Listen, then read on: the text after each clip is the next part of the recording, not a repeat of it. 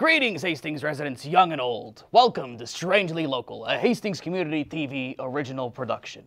My name is Alec Matheson, and I will be your host. We've all read and seen stories of people going back in time and interacting with the world of yesterday. It is so common, such a concept isn't that strange anymore. But you know what would be strange? If the person did not intend to go back in time in the first place.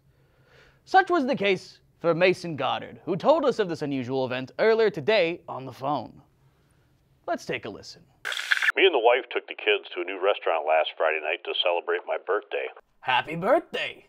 Thank you. About 25 minutes passed, and the kids were getting a little impatient. I looked at my watch. My youngest asked why do I still wear it. I answered, and that it was a gift my father gave me for my birthday 37 years ago. A few more minutes passed, and I needed to go use the restroom. On my way, I got lost and ended up walking through a hallway that just kept going and going. A kid came out of nowhere and ran right past me. He looked familiar, reminded me a little bit of myself at seven. Huh. When I reached the end, I thought I was in a different restaurant. It was like I had traveled back to 1977. Everything and everyone in the restaurant looked like they were from the late 70s with their hairstyles, the clothing, the music, the television sets. I wondered if it was one of those special occasion kind of things. Sure, sure. I heard somebody say my name.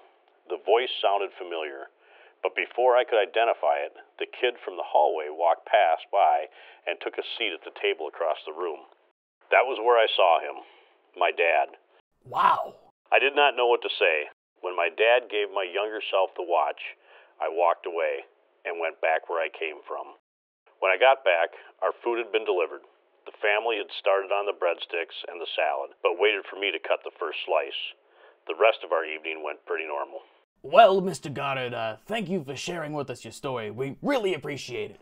Have a good day and uh, happy Halloween. You as well, sir. Truly an interesting and emotional story Mr. Goddard shared with us this evening. And what a restaurant! I will have to make a reservation.